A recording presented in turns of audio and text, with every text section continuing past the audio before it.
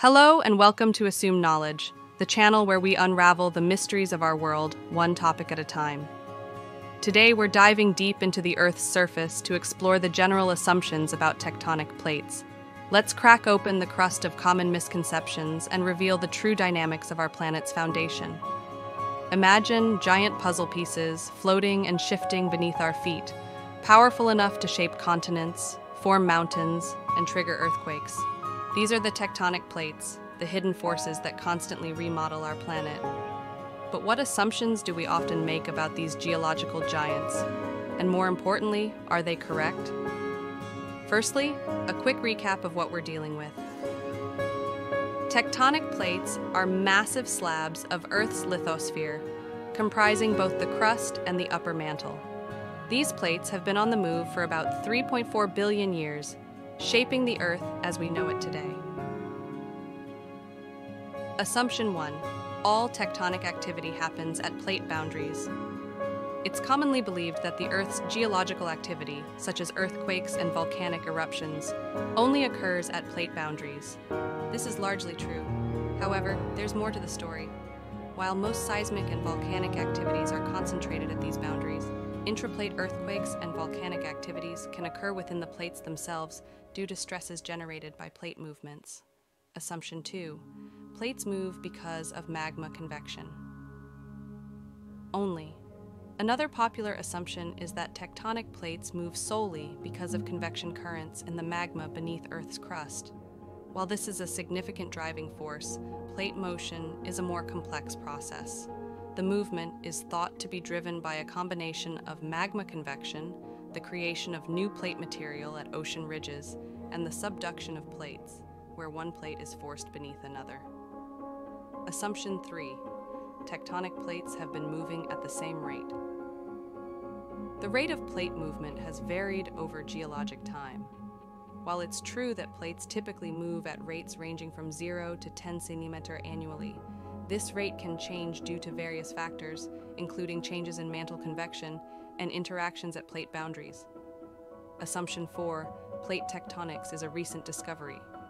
The concept of continental drift, a precursor to plate tectonics, was proposed by Alfred Wegener in 1912. However, the theory of plate tectonics as we know it today came to be widely accepted only after the 1960s, following the validation of seafloor spreading. Assumption 5 the Earth's surface area is changing due to tectonic activity. It's often thought that tectonic activity is changing the Earth's surface area. However, the surface area remains constant. New crust is created at divergent boundaries, and old crust is recycled back into the mantle at convergent boundaries, maintaining a balance. Assumption 6 Plate boundaries are always clear cut. One might assume that the boundaries between tectonic plates are always distinct and well defined. However, in reality, these boundaries can be complex and sometimes diffuse. For instance, at conservative plate boundaries, where plates slide past each other, the movement can create a network of faults rather than a single fault line. This complexity can lead to a variety of seismic activities across a broader area than initially expected.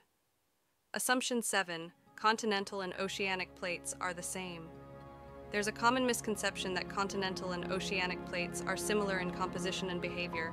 In truth, they are quite different. Oceanic plates, primarily made of dense basalt, are thinner and more prone to subduction. Continental plates, composed of lighter granitic rocks, are thicker and less likely to be subducted. This distinction is crucial in understanding the dynamics of plate interactions, such as mountain building and volcanic activity. Assumption 8 tectonic plates movement is random.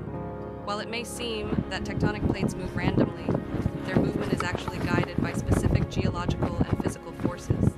As previously mentioned, convection currents in the mantle play a key role, but other factors like the slab pull at subduction zones and ridge push at mid-ocean ridges also contribute significantly to their directional movement. The interactions of these forces create a pattern of movement that, while complex, is far from random. Assumption 9 Plate tectonics. Only affect the Earth's surface, it's easy to assume that the effects of plate tectonics are confined to Earth's surface. However, the impact of these moving plates goes much deeper.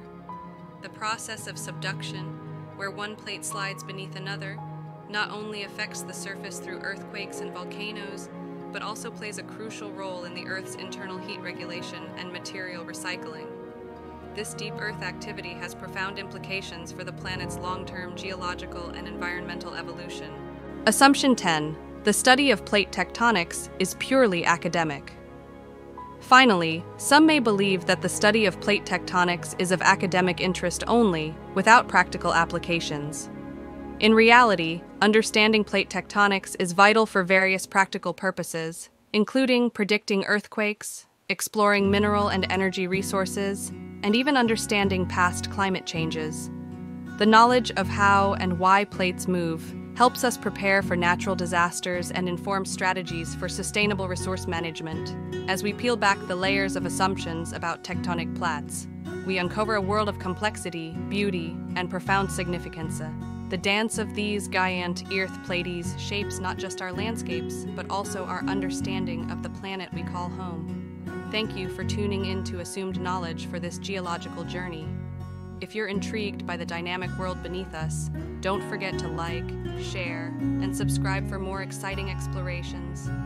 Until next time, keep your curiosity alive and continue to challenge what you assume you know.